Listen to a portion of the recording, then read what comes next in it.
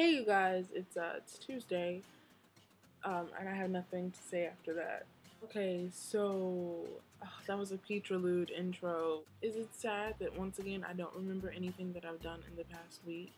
True Blood was really good on Sunday. I'll that's all I really have to say is that it was really good. Um, me and my addictions, we just have to get used to those. I made brownies last night and the pan's already gone because I didn't know that I wanted brownies that bad.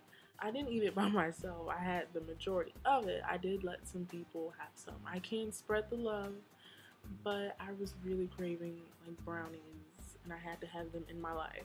Also, before I answer the questions, uh, Danielle, what you said about us talking about bringing like some new stuff to the channel, I totally agree with you on that. I feel like we've uploaded like over 100 videos, so I feel like we could take a left turn and try something different.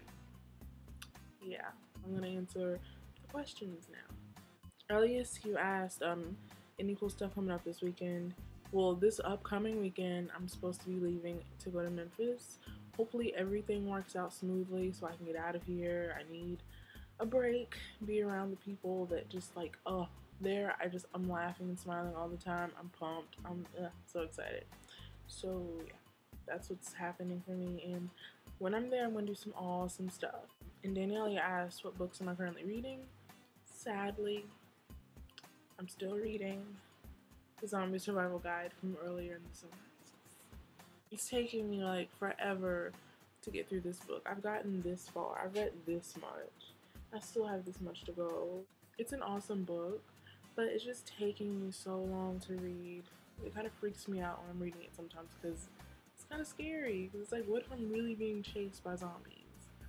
Because I picture zombies as not really being able to travel that fast, and so of course I can get away from them. And this book is changing my mind. It's like I'm going to be eaten alive, and that scares me, but I know it's not real. Yeah, I did all of that just to say it's not real. And my question for the week is do you prefer to go out to the movies or just stay at home and watch them like on Netflix?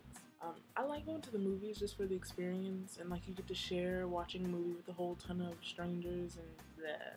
But like there's nothing like being at home, comfortable as frig, and just watching a movie. You don't have to pay ridiculous prices, you can just chill.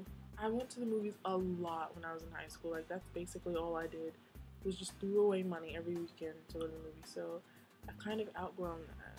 I prefer to watch them at home now. That was my question for the week, and I'll see you guys next Tuesday.